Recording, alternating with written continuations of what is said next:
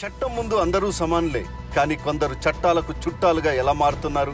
దేశంలో పేదలకు సత్వర న్యాయం ఎందుకు లభించడం లేదు? న్యాయం ఖరీదుగా ఎందుకు మారింది?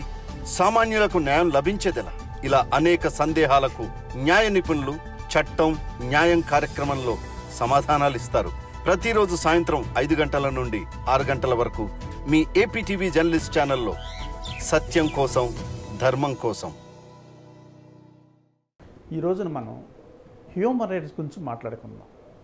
హ్యూమన్ రైట్స్ ఈ హ్యూమన్ రైట్స్ అనేవి ప్రతి ఒక్క మనిషి యొక్క జీవితంలో చాలా చాలా చాలా అవసరమై ఉన్నాయి.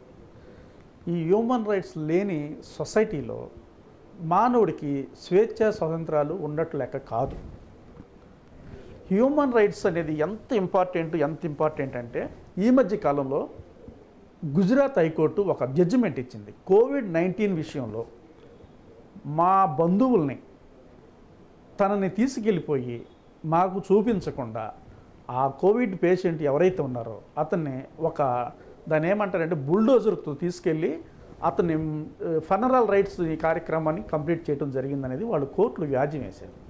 వేస్తే కోర్టు ఏమొచ్చిందంటే హ్యూమన్ రైట్స్ యొక్క ఇంపార్టెన్స్ అప్పుడు చెబుతూ even dead body also have some rights డీసెంట్గా డిగ్నిఫైడ్గా ఆ డెడ్ బాడీని ఫనరల్ కార్యక్రమం అంటారన్నమాట. అంటే దహన సంస్కారాలు. ఏవైతే ఉన్నాయో ఆ సంస్కారాలు చాలా గౌరవ మర్యాదలతో ఆ బాడీకి నిర్వర్తించాలి అనేది ఒక జడ్జిమెంట్ ఇచ్చి వాళ్ళు అడిగితే వాళ్ళు కావాలనుకుంటే వాళ్ళ డెడ్ బాడీని కంపల్సరీ వాళ్ళ బంధువులకి అందజేయాల్సిందే అని ఒక తీర్పు ఇవ్వటంతో ఆ పాతిపెట్టిన డెడ్ బాడీ కూడా తీసి వాళ్ళు హ్యాండ్ ఓవర్ చేయడం జరిగింది. ఇది ఈ మధ్య కాలంలో కోవిడ్ వచ్చిన కానించి మార్చి నెల తర్వాతే మనకి కోర్టు ఈ తీర్పులు ఇవ్వడం జరిగింది. అంటే మన మానవ సమాజంలో ఒక డెడ్ బాడీకే ఇంత గౌరవం ఇంత మర్యాద అంత రెస్పెక్టు ఇవ్వాలని మన చట్టాలు చెబుతుంటే సజీవంగా ఉన్న బతికున్న సొసైటీలో తిరుగుతున్న మానవులకి ఎంత రెస్పెక్ట్ ఇవ్వాలి? ఎంత డిగ్నిటీగా ఉండాలి? ఎంత గౌరవ మర్యాదలతో ఉండాలి?